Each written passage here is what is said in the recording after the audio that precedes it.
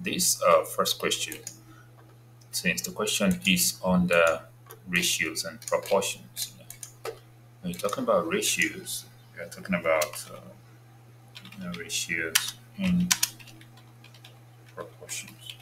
So you're talking about uh, a kind of divisions between two quantities, trying to compare the amount or how great they are.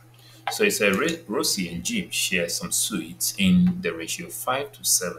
So if Jim gets 12 sweets more than Rosie, work out the number of sweets that Rosie gets. So from the uh, solution, we have Rosie to Jim as 5 ratio 7. Then from the information, we have Jim equal to Rosie plus 12. That is 12 more than whatever Rosie got. So Jim from the ratio is 7 out of the total of 12, the 12 ratio times the total sweets. That will give us 70 over 12. And Rosie, the ratio of Rosie is uh, 5. So because Rosie is the first person mentioned, 5 over 12 times total give us this. And we can see from this first statement that Jim is greater than Rosie. So Jim is greater than Rosie because Jim is 12, uh, Rosie plus 12. So that means we can find a difference between Jim, this is Jim, and this is Rosie. So the difference between these is going to be 12 based on the information given. So 7t over 12 minus 5t over 12 equal to 12. So with that, we can find t, make t the subject of the formula, or find t, solve for t. So try to solve for t. To find the LCM, which is 12, then 7 minus 5t, and that's 2t.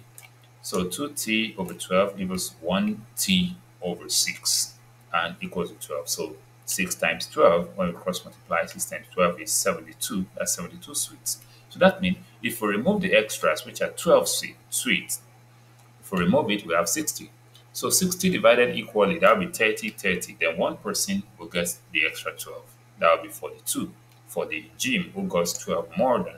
Or we go back to the ratio and say Jim, uh, Rosie gets 5 over 12 times 72, which is 30 sweets.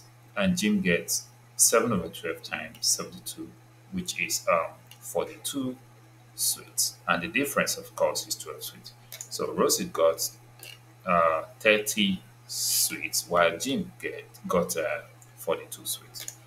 Okay, now we're looking at the second one. Can you, uh, do you understand that? Yes. Okay, good.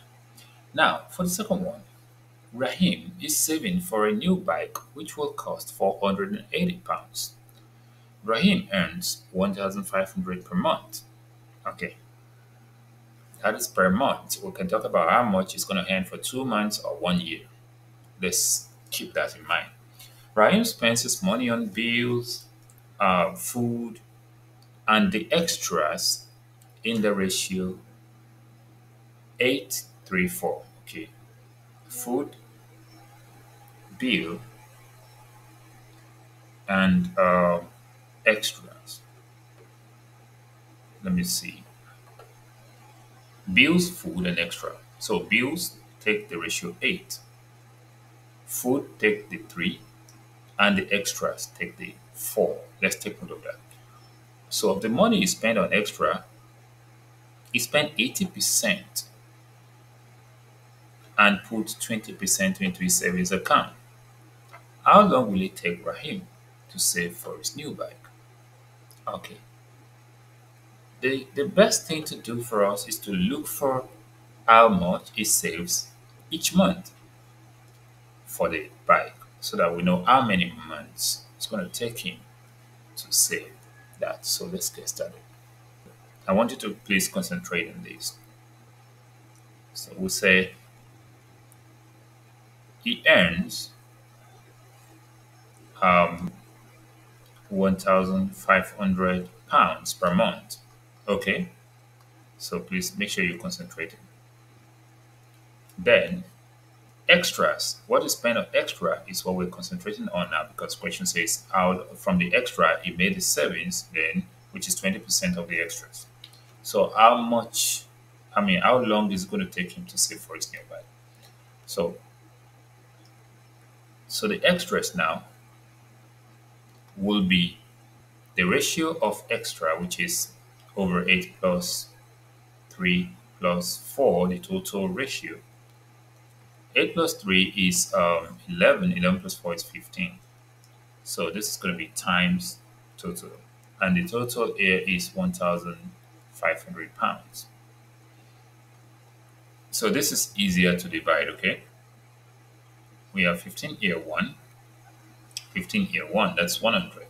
So that means one four times 100 gives us 400 pounds that he saves.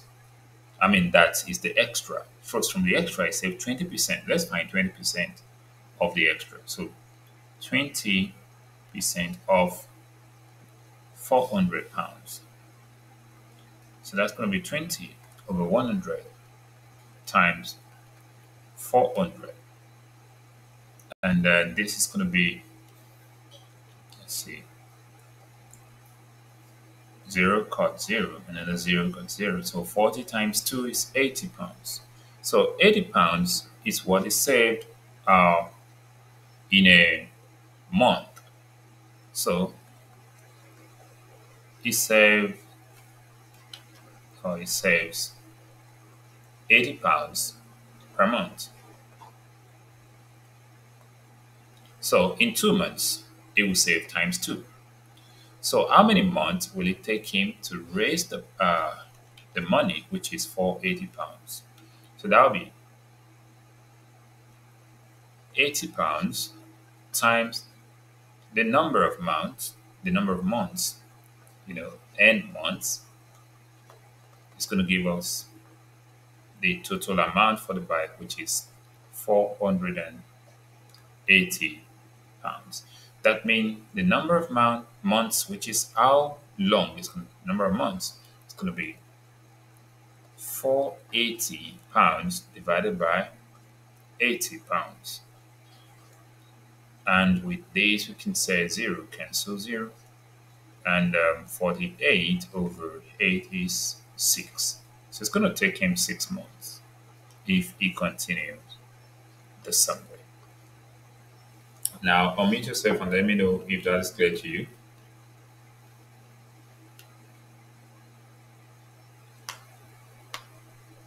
Yes, clear. Okay, so put down the question and the solution. Then after that, I'll give you assignment.